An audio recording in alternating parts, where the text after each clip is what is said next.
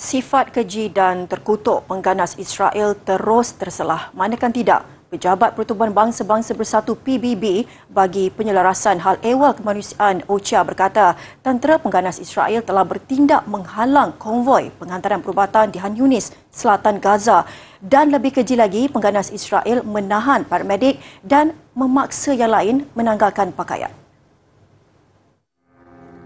Katanya insiden kemarin berlaku ketika pemindahan 24 pesakit dari Hospital Al-Amal di bandar berkenaan. Tentera pengganas Israel bagaimanapun lambat mengulas insiden itu dan seperti biasa menyatakan mereka sedang menyemak butiran insiden dinyatakan OCHA. Menurut agensi bantuan dan pegawai Palestin, kawasan kompleks hospital berkenaan dikepung ketika serangan tentera pengganas Israel terhadap pejuang Hamas di Gaza.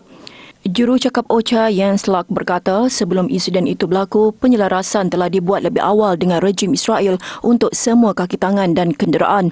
Namun tentera pengganas Israel tetap menyekat konvoi yang diketuai Pertubuhan Kesihatan Sedunia WHO selama berjam-jam sebaik mereka meninggalkan hospital. This is not an isolated incident. Eight convoys have come under fire and are systematically denied access to people in need.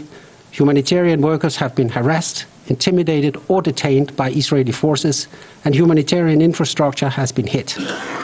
Just prior to Sunday's incident, two family members of Médecins Sans Frontières were killed in an unprompted attack by Israeli forces against a deconflicted compound where their staff and family members slept. Selain itu, tentera pengganas Israel memaksa pesakit dan kaki tangan untuk keluar dari ambulans dan mengarahkan semua paramedik untuk menanggalkan pakaian mereka. Tiga paramedik Persatuan Bulan Sabit Merah Palestin kemudiannya ditahan walaupun butiran peribadi mereka telah dikongsi dengan tentera pengganas Israel terlebih dahulu. Rejim Israel sebelum ini mendakwa mereka mengambil langkah untuk mengurangkan korban awam namun tetap menyalahkan pejuang Hamas dengan mendakwa bersembunyi dalam kalangan orang awam termasuklah di hospital walaupun tanpa mengemukakan bukti kukuh.